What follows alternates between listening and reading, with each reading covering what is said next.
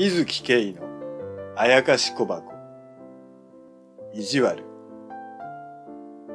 私はお前に意地悪をしていたよ。世物平坂の向こう側で、お前はそのことを知っていただろうね。私はお前に惚れていた。なのにお前、お前は私を残して死んでしまった。あれからは何をしても味気のないものだったからね。お前の墓には参らないし、家の者が行くときにも、お前の好きだった非容疑の花を持っていくことを禁じたよ。毎日毎日、ただ時が流れていくのを待つばかりだった。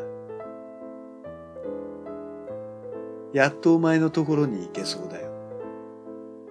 冬の終わりから具合が悪くてね。ご飯も喉に通らなくてね。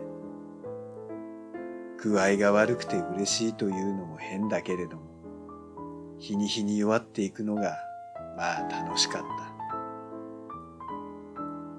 桜が散り、藤が咲き始めた今日この頃に、随分と早く非容疑が咲いた。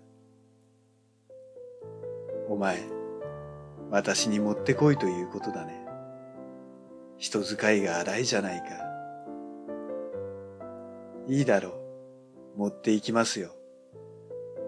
非容疑の代々の花をお前に持って行こうじゃないか。ぬばたまの闇を通って、よもつ平坂を越えて、お前に会いに行きますよ。